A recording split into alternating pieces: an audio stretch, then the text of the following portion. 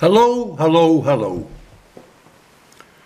Today is Wednesday, October 23, 2024.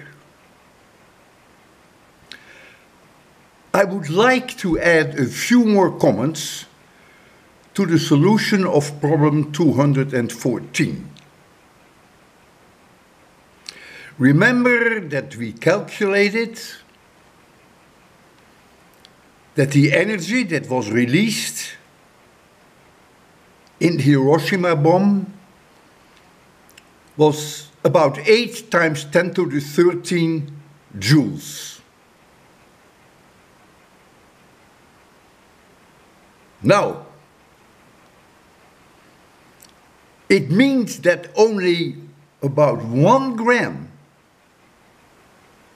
of all the uranium was converted to heat. Because if you calculate what the equivalent of heat is in terms of E equals mc squared, then m is 1000 for one gram.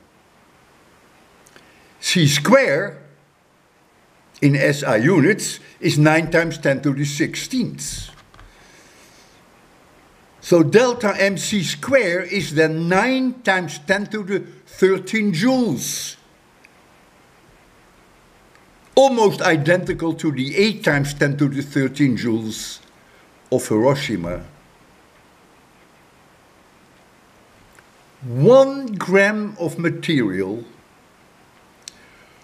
was completely converted into heat. That would be the case for one gram of any substance. It is the mass loss, delta M. All the protons and neutrons in that one gram no longer exist. They're not there anymore. But since energy is conserved, that energy is released in the terms of heat. 9 times 10 to the 13 joules. The thumbnail that I have chosen for this video is an MMM, M&M, it's a very small candy, which I weigh on my scale and it weighs two grams. In other words, it's half of that. Half of an M&M.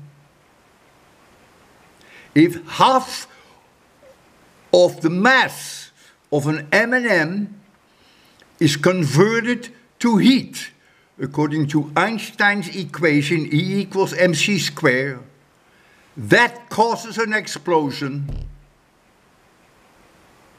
of the magnitude of the Hiroshima bomb.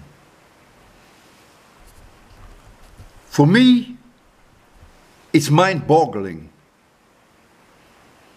When we think of one gram, we think of almost nothing. Well, almost nothing is enough to kill about 200,000 people and to completely destroy a city.